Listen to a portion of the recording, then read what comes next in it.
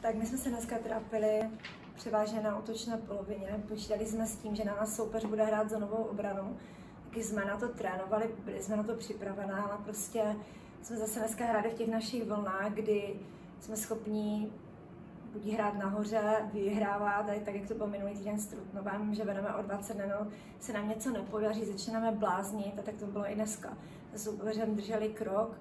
soupeř začal jako velmi dobře, přetrefil v první čtvrtině uh, pět trojkových střel, takže začal jako toho dostal docela do pohody, ale my jsme to kontrolovali, ale jako postupem času, uh, hlavně na začátku toho druhého poločasu, prostě nějaká ztráta a soupeř se dostal na, tě, na to desetibodové vedení a my potom už jsme se dostali do strašné křeče, kdy prostě strašně moc chceme, ale čím více chceme, tak tím je to horší já věřím, jako náš tým je hodně mladý a prostě jako hledám hráče, který v ten daný moment, kdy se nám nedaří, zvedne prapor a, a prostě tady tohle to zastaví. Zatím se mi to nepodařilo. A tak já doufám, že jako ten tým hodně chce, takže já věřím, že to bude zápas od zápasu lepší a ta vysoká porážka mě docela mrzí, protože přijeli bez opory. No, někdy to může bývat být tak, že ten tým se semkne, ale jak to asi dneska bylo, ale ale to, že při, přijeli bez Terky Vorlové, tak to by měl být náš bonus, ale dneska jsme ten zápas vůbec nezvládli a jakože fakt mě to mrzí.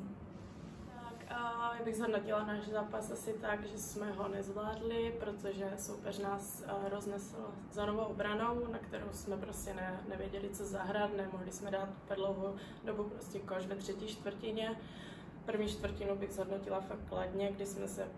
prali o každý míč a prostě snažili jsme se, da, dařilo se nám jak trojkově, tak prostě za dva body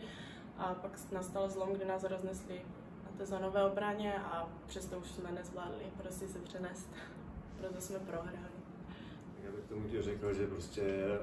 uh, oba dva týmy chtěli vyhrát uh, trošinku od začátku, to nahoru dolů. Jednou jsme byli nahoře chvilinku my, chvilinku soupeř my jsme vydrželi trošku díl bojovat v té obraně, měli jsme tam